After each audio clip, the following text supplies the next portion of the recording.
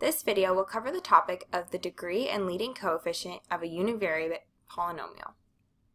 A univariate polynomial is an expression that has one variable and multiple terms. So some examples are x squared plus 1, x cubed plus 5x to the power of 6 minus 200, and 23x plus 5x squared. As we can see, these expressions have only one variable, x, but multiple terms. What is a degree?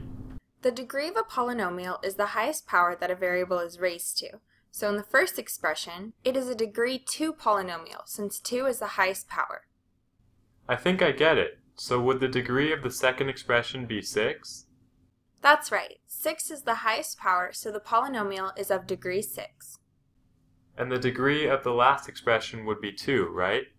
Correct again. 2 is the highest power in this expression, so the polynomial is of degree 2.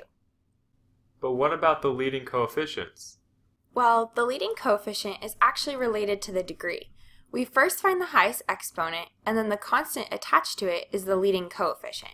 This is because when we write an expression, we typically put the terms in a specific order, starting with the term with the highest exponent. So in the first expression, we have a leading coefficient of 1. And in the second expression, it's 5? That's exactly right. Now let's try the third expression, 23x plus 5x squared. We previously identified that the highest power is a 2, which makes it a degree 2 polynomial. The constant attached to the x squared term is a 5, making the leading coefficient 5.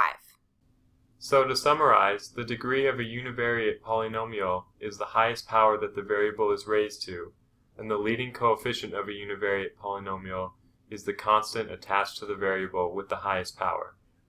Great job! You definitely understand this topic.